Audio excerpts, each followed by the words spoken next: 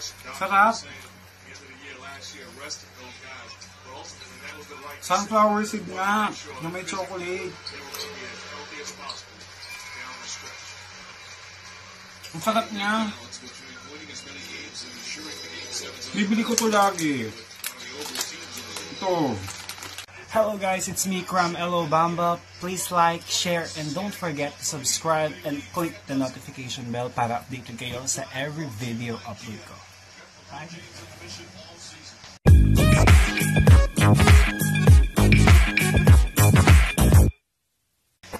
welcome back to my channel. Kakagising ko lang hapon ngayon. Um, nasa 7 o'clock na dito, 7 p.m. So nakatulog ako. Pagising ko na, I forgot na kailangan ko lang mag-vlog today kasi Saturday and so one week na akong walang content. So yun. Ay, and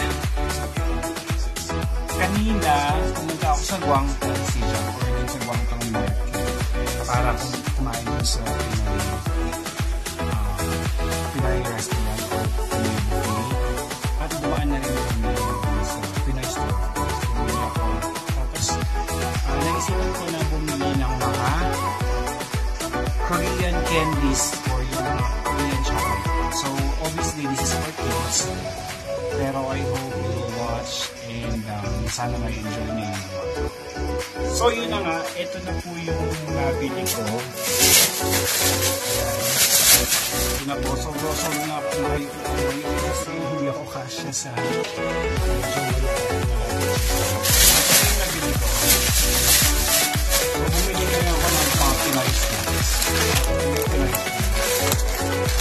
Ito ko. Mga is ring, snapping, clover. At of course, yung pinaka-favorite ko na stick. Pero hindi dito kasama sa bag. Kasama lang sa plastic dahil namirin kasi ako ng Ito na po yung mga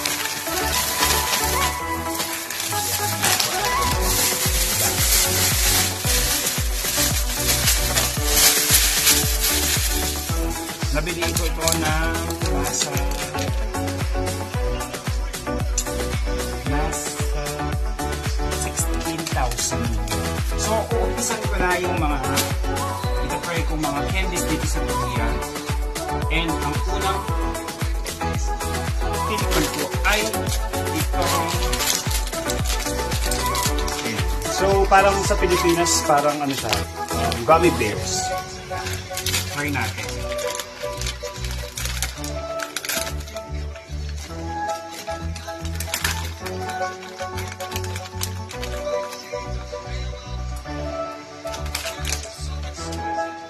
Tigas niya.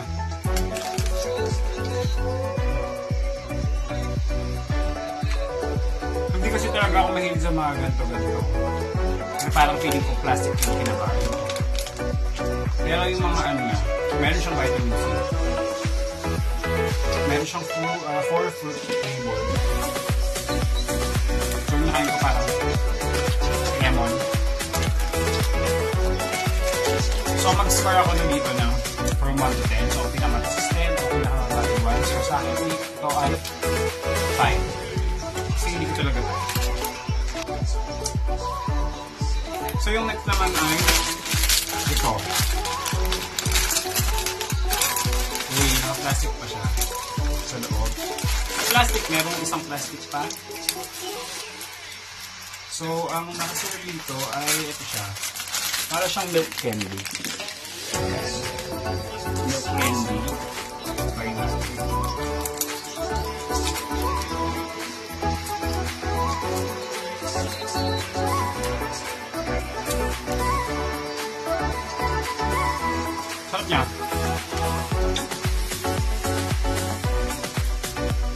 Para siyang milk tita. Nasa siyang milk tita pero mas masarap to. So, ang score ko dito is 8. Perfect to. Try nyo to. So, yung next ko namang nabili is ito. Para kamukha din siya nung kaninang nung unang kinain ko.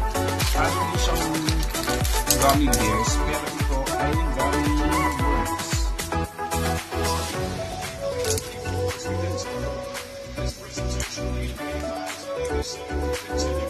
Mas malambot to.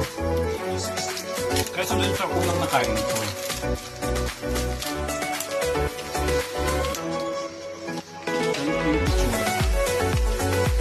So, gummy worms na. So, score ko dito is 6. And yung susunod naman is itong Ayan. Para siyang um, frutos. Frutos ba? So, try natin.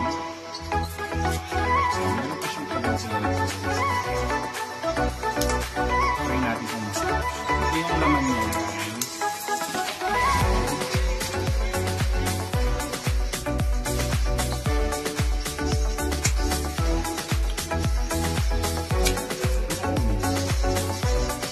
Apple flavor.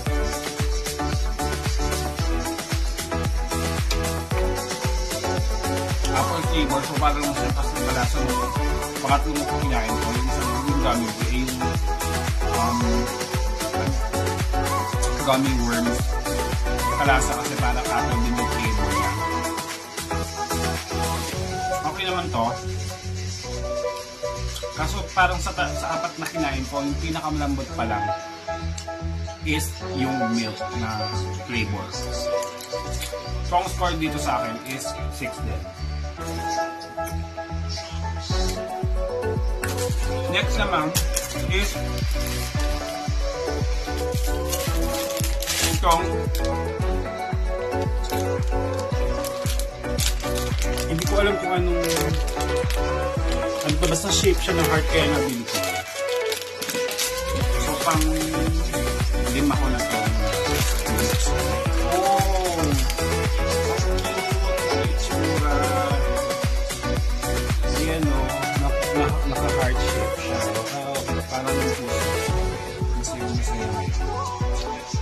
mo ko na.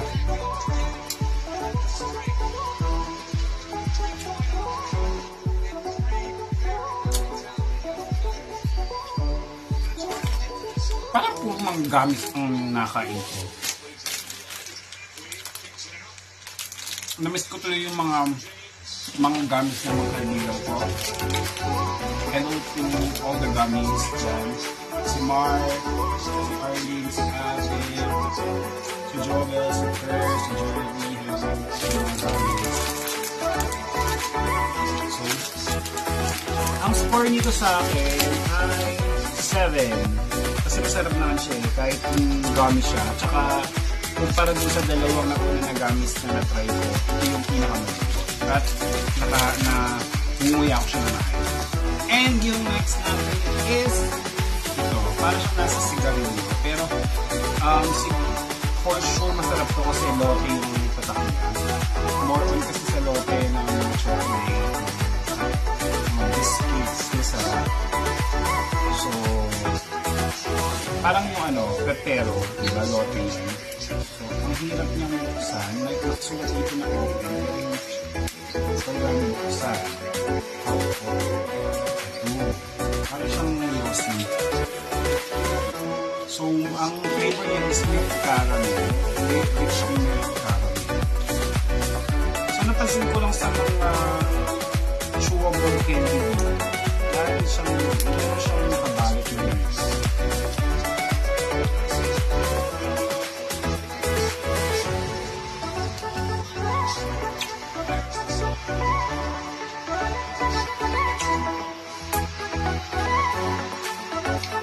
May kalasa sa alam kung anong Tagalog niya. Pero ang alam ko sa pangkapantaan, tawag is full. Yun ang parang yung kulay brown na sobrang matamis na ganito kalaki. Kasi nagpapakapang niya yung ganun bata. Ang sarap niya. Namis ko tuloy yung full na tinatawag sa kapantaan. Hindi ko lang siya alam sa Tagalog. So, ang score natin is, ang score ko dito is 8. So, yun na nga guys, na umpisa nang sumasakit yung YouTube ko. Kasi hindi talaga, tsaka medyo na ano na ako sa tubig, na na. Kasi hindi, ko, hindi ako mag, mahilig sa matamis na na pagkain. So, dire-diretso na tayo. So, I have um, six pa dito. Pero hindi ko naman kasi ito ito-try dahil hindi naman kasi siya hindi naman kasi siya ano, hindi naman kasi siya Korean candies. So, galing siya sa US, pero meron sa store. At itong Ferrero Rocher. Hindi ko siya um, ano, kasi hindi naman nga siya Korean. So, apat na lang yun. So, and ito yung next. So, nakita ko to kasi naalala ko yung um, elementary ako na may pumuputok sa bibig. Meron din dito guys. Ayan. So, ito try na natin. Mabuksan ko. At meron siyang palolipop. Ayan. So, ito yung lollipop niya. Hindi siya matigas. Matigas siya. Ayan. So, yung sa loob niya is yung pang pumuputok niya.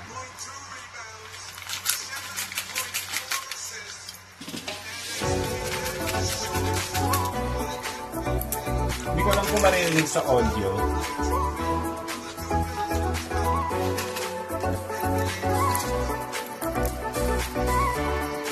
Ayan. Ang sarap nito kung may ano. Ha? Pumuputok siya hanggang dito. Hmm, nag-enjoy ako. Namiss ko yung elementary days ko. Paano kaya nila nagagawa ito ng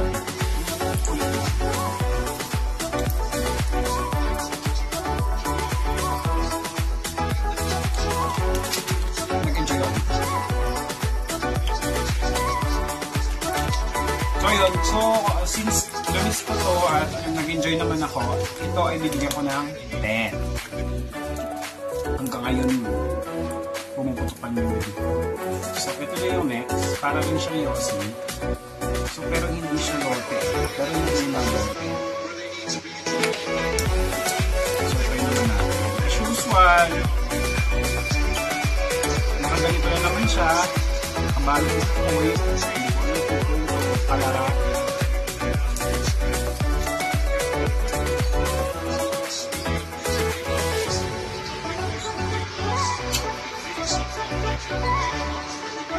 Kape.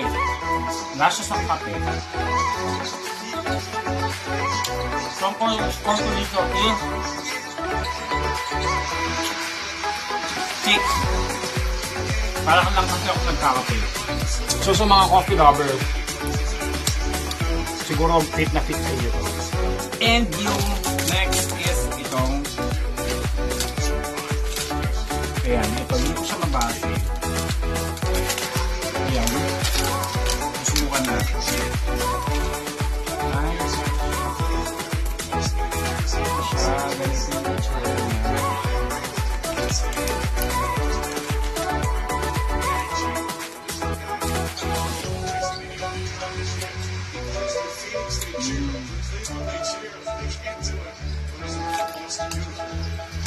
Para siyang Skittles. Kalasa din siya ng Skittles. Ito yung Korean version ng Skittles. Masarap siya.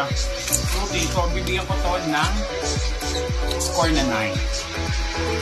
And yung last guys, first time ko nakakita ng ganito. And alam ko first time yan siguro sa mga iba. Na sunflower seed na choco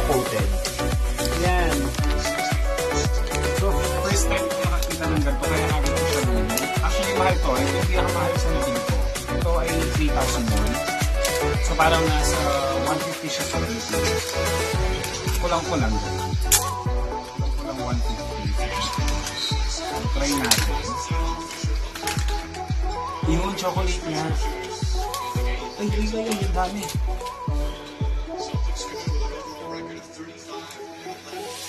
So, hindi mo nababalatan yung sunflower seed. Ito yung itsura niya, guys. Effort ang mga Korean.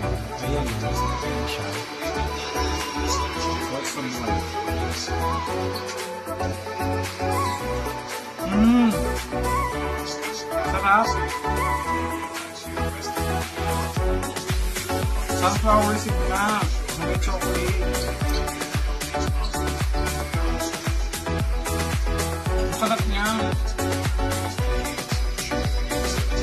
Ko lagi. Ito. Sobrang sarap niya, guys. Mapadala nga ito sa Pilipinas.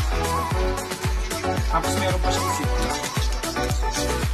So, ang score natin, ang score ko dito is 10. Kung may 11 nga, 11. So, 10 to.